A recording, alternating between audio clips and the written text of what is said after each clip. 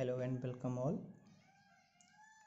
तो आज हम एक नया सब्जेक्ट स्टार्ट करने जा रहे हैं, जिसका कोड है M E three zero six इसका नाम है advance workshop technique advance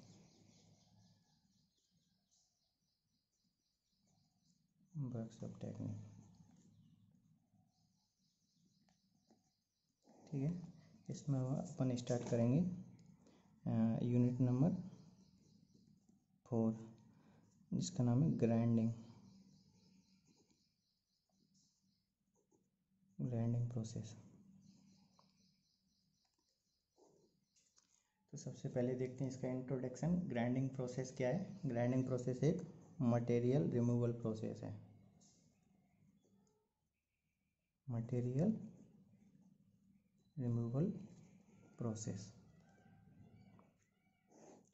there are some other material removal process are there like conventional machine conventional machining conventional machining और एक अपना है दूसरा अपना grinding grinding or we can say uh, it's abrasive based abrasive based machining और third है अपना unconventional machining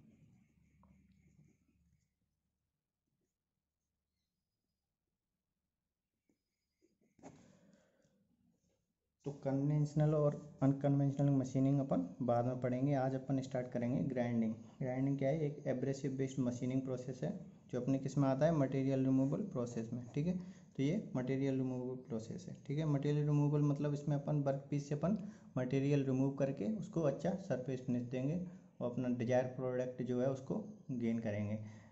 ये अपना मटेरियल रिमूवल प्रोसेस है और जैसे अपना मटेरियल एडिंग प्रोसेस कौन सा है वो अपना बेल्डिंग जिसमें अपन क्या करते हैं एक्स्ट्रा मटेरियल ऐड करके अपन फाइनल प्रोडक्ट जो है मिलता है अपन को, ठीक है? तो ये आज ग्राइंडिंग स्टार्ट कर रहे हैं, जो कि एक मटेरियल रिमूवल प्रोसेस है, ठीक है? तो अब देखते हैं स्टार्ट करते हैं ग्राइंडिंग और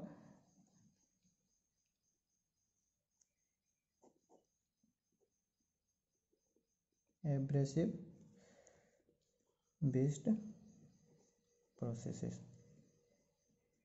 तो ग्राइंडिंग के अलावा और भी हमारे प्रोसेस हैं जो एब्रेसिव बेस्ड हैं लाइक हॉर्निंग है। हॉर्निंग हो गया लैपिंग हो गया सुपर फिनिशिंग हो गया सुपर फिनिशिंग हो गया पॉलिशिंग हो गया और बफिंग ठीक है?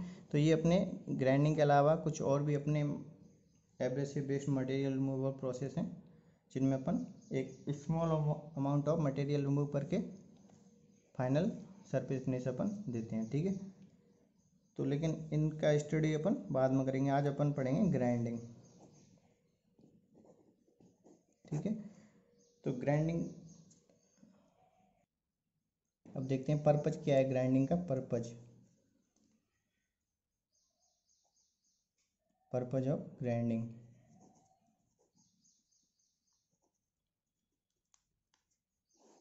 तो ग्राइंडिंग में अपना जो मटेरियल रिमूवल रेट है एमआरआर वो बहुत कम होता है। तो इसमें अपना मटेरियल रिमूव करना इसमें अपना पर्पज नहीं है। अपना पर्पज इसमें क्या है? फिनिशिंग अच्छी फिनिशिंग प्राप्त करना। मतलब सुपर फिनिशिंग सुपर फिनिशिंग अपन इसमें सुपर फिनिशिंग एक तो ये अपना पर्पज है। ठीक है सुपर फिनिशिंग अपन गेन करना चाहते हैं। और इसमें क्या है? सुपर फिनिशिंग और we can say that dimensional control इसमें जो डायमेंशनल अपना कंट्रोल है, वो काफ़ी क्लोज रहता है। काफ़ी क्लोज टॉलरेंस अपन इसमें प्राप्त करते हैं। जैसे क्या है, अपना सरफेस फिनिश बहुत ज़्यादा अच्छा मिलता है हाई मिलता है। और इसमें मैं एक और पर्पज वो क्या है? जैसे अपना हार्ड मटेरियल है हाई हार्ड मटेरियल उसकी भी अपन इसमें सरफेस फिनिश करना एक अपना पर्पज है, ठीक है? High hard metal high hard metal like ceramic हो गया अपना। सीमेंटेड कार्बाइड हो गया। सीमेंटेड कार्बाइड तो ये अपने बहुत ही ज़्यादा हार्ड मटेरियल है। जिन, जिनको, जिनकी सरफेस फिनिश करना, अपन अदर जो प्रोसेस हैं उससे काफ़ी टफ होता है। तो हम जो अपना ग्राइंडिंग है, उससे अपन इसको सरफेस फिनिश इजीली कर सकते हैं, ठीक है?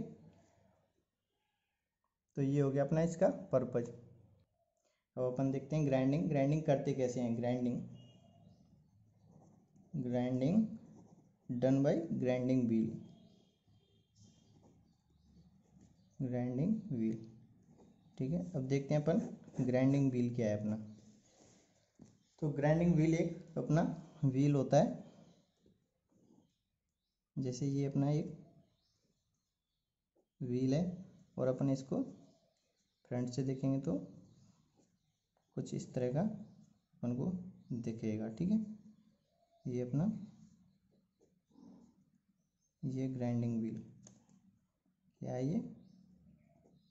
ग्राइंडिंग व्हील तो ग्राइंडिंग व्हील में क्या होता है अपने?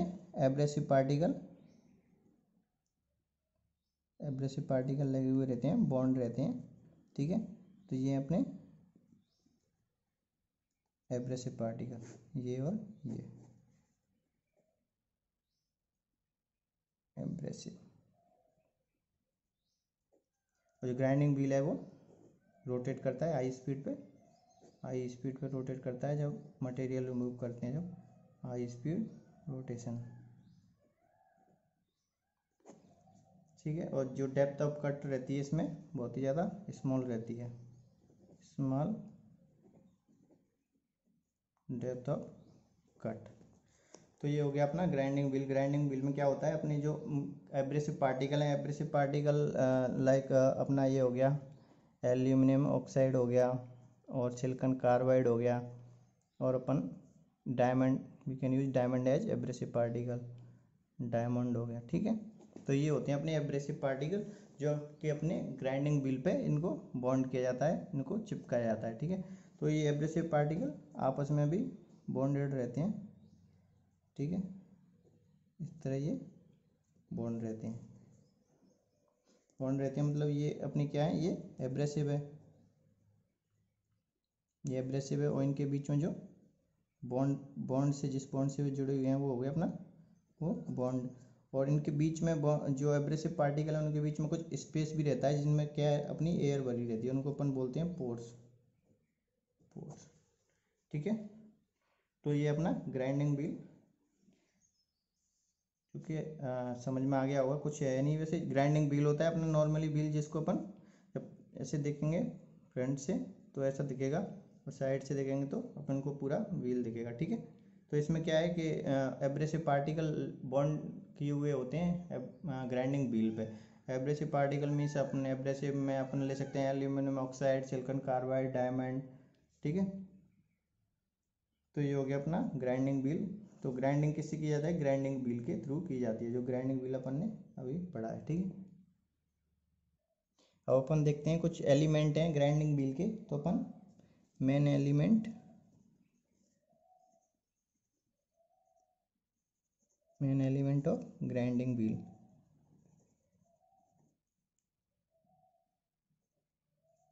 अपन डिस्कस करते हैं कौन कौन से एलिमेंट हैं ग्राइंडिंग व्हील के। तो सबसे पहले तो अपना हो गया एब्रेसिव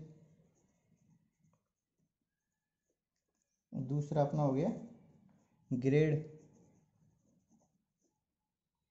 थर्ड हो गया अपना स्ट्रक्चर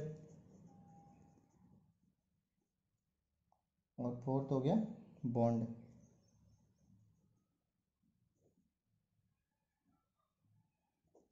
तो एब्रेसिव के बारे में आप अपन पढ़ चुके हैं। Abrasive we can use abrasive aluminium oxide का एब्रेसिव अपन यूज़ कर सकते हैं सिलिकॉन कार्बाइड का और डायमंड का। ये एब्रेसिव क्या है अपने? ग्राइंडिंग व्हील पे लगे हुए रहते हैं, ठीक है? अब अब आता है ग्रेड तो ग्रेड क्या है? ग्रेड अपनी, जो अपना ग्राइंडिंग व्हील है कितना मज़बूत है? ये अपन ग्रेड से पता करेंगे, ठीक है? तो ग्रेड क्या है? जैसे ग्रेड में अपन अपन ग्रेड है, अगर ए टू एच है तो ये होगा सॉफ्ट ग्राइंडिंग व्हील होगा अपना, ठीक है? इसको बोलेंगे सॉफ्ट अगर आई टू पी है आई टू पी तो इसको बोलेंगे मीडियम मीडियम ठीक है? और अगर क्यू टू जेड है क्यू टू जेड तो ये हो जाएगा अपना हार्ड ग्राइंडिंग व्हील ठीक है? बोलेंगे हार्ड तो ये हो गई अपनी ग्रेड ठीक है? अब देखते हैं स्ट्रक्चर तीसरा क्या है अपना? स्ट्रक्चर ठीक है?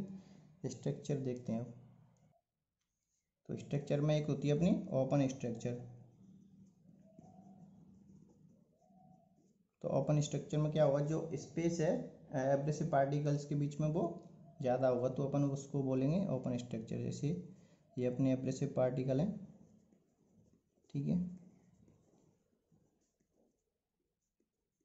तो इनके बीच में जो गैप है पोर्स हैं वो ज़्यादा होंगे। पोर्स क्या है? जिन, जो अपना स्पेस होता है उनमें एयर भरी हुई रहती है, उनको अपन बोलते हैं पोर्स तो ये हो जाएगी अपनी ओपन स्ट्रक्चर क्योंकि इनकी एब्रेसिव पार्टिकल्स के बीच में स्पेस ज़्यादा है पोर्स ज़्यादा है।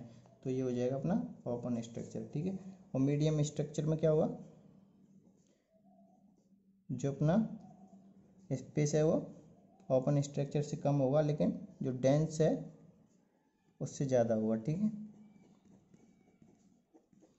तो ये हो गया अपना मीडियम स्ट्रक्चर और डेंस में क्या होगा? जो एब्रेसिव पार्टिकल हैं, बहुत ज़्यादा क्लोज होंगे, उनके बीच में जो पोर्स है, जहाँ पे एयर भरी हुई होती है, वो बहुत ज़्यादा कम हो जाएगा। तो उसको बोलेंगे अपन डेंस स्ट्रक्चर ठीक है? तो ये हो जाएगी अपनी, ये बॉन्ड बने हुए। तो इसको बोलेंगे अपन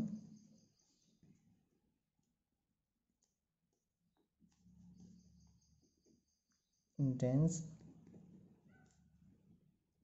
स्ट्रक्चर तो ये हो गया अपना स्ट्रक्चर ऑफ़ ग्राइंडिंग व्हील तो स्ट्रक्चर कितनी टाइप की होती है? तो ओपन स्ट्रक्चर होती है, जिसमें जो अपने एब्रेसिव पार्टिकल्स हैं, उनके बीच में स्पेस ज़्यादा रहता है पोर्स ज़्यादा होते हैं। तो इसीलिए उसको बोलते हैं ओपन स्ट्रक्चर और जो मीडियम स्ट्रक्चर है, उसमें जो अपने पोर्स हैं, वो ओपन स्ट्रक्चर से कम रहेंगे, लेकिन जो डेंस स्ट्रक्चर है, उससे ज़्यादा रहेंगे। तो डेंस स्ट्रक्चर क्या है? डेंस स्ट्रक्चर में जो अपना पोर्स हैं, बहुत ज़्यादा कम होते हैं। जो एब्रेसिव पार्टिकल्स हैं, उनकी डेंसिटी बहुत ज़्यादा होती है, जिसकी वजह से पोर्स कम होते हैं तो उसमें एयर कम रहती है, इसलिए इसको बोलते हैं डेंस स्ट्रक्चर अब इसको नंबर के रूप में भी शो करते हैं, जो अपन देखते हैं। जैसे अपनी पहली क्या है? ओपन स्ट्रक्चर को ओपन स्ट्रक्चर को। ओपन स्ट्रक्चर को अपन नंबर के रूप में कैसे शो करेंगे? नंबर के रूप में इसको देंगे nine to ten and onward और इससे ज़्यादा, ठीक है? तो इतने अगर नंबर है, नाइन, टेन से ज़्यादा तो वो होगी अपनी ओपन स्ट्रक्चर, ठीक है? दूसरी क्या है? Medium. Medium structure.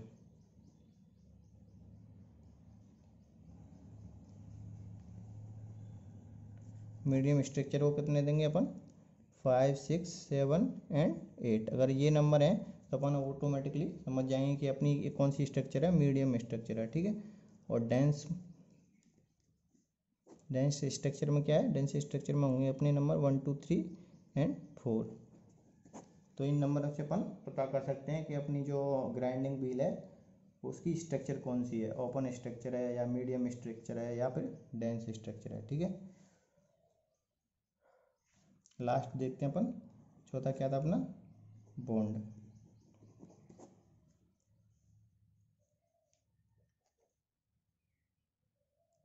तो बॉन्ड अपन पहले ही देख चुके हैं। बॉन्ड अपन पहले ही देख चुके हैं ग्राइंडिंग व्हील में, जो एब्रेसिव पार्टिकल हैं, वो आपस में एक दूसरे से बॉन्ड के थ्रू जुड़े हुए होते हैं। जैसे ये अपना एब्रेसिव व्हील है, ये अपना ग्राइंडिंग व्हील है। ग्राइंडिंग व्हील और ये जो है एब्रेसिव पार्टिकल है।